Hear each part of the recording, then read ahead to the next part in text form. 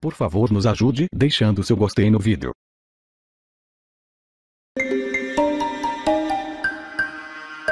Zelu abre sua luxuosa mansão de SP e dispara: Não quero envelhecer sozinha. Zelu Godoy mostrou seu novo canto para o programa do Gugu e circulou com Gugu Liberato pela mansão, que fica em São Paulo, onde mora sozinha. Com decoração que mistura clássico com toques de modernidade, ela apresentou o espaço, quer tem piscina, elevador, churrasqueira e vista repleta de verde.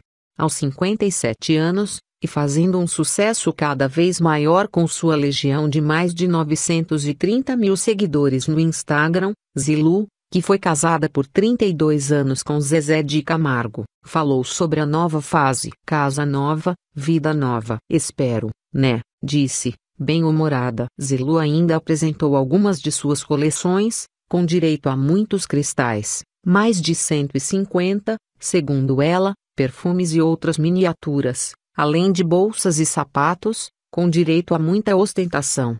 Romance. Quando o assunto é a vida pessoal, ela fala de Marco Antônio Teles, que teve sua vida vasculhada por conta da fama da empresária. Não quero envelhecer sozinha, disparou ela. Hit na web. Porém, mesmo com tão pouca privacidade, ela se sente abraçada virtualmente pelos internautas. Pessoal pede posts e tento suprir. É tanto carinho e é verdadeiro porque eu não cobro nada. Boa forma. Sou meio radical com malhação. Odeio levantar pesos. Eu vou às clínicas de estética e peço para levantar bumbum, essas coisas. Risos. Sempre tive genética muito boa de não ter barriga. Ainda bem. Saí da maternidade com a mesma roupa que eu usava antes de engravidar. Fama. Sempre repito que não sou famosa, não sou artista. Não sou política. Fui casada com um homem famoso. Quero conhecer gente diferente, lugares diferentes, mas quero ser simplesmente trazer o que eu sou e não o que as pessoas querem que eu seja. Preciso fazer as coisas que me fazem bem,